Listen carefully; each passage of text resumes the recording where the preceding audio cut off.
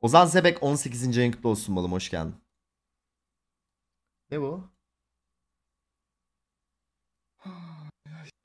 Fireflux Valorant takımının IG'li Soshni karşılıklı anlaşma sonucu takımdan ayrıldığını duyurdu. Karşılaşma bulundu. Bu daha başlangıçta başlıyoruz.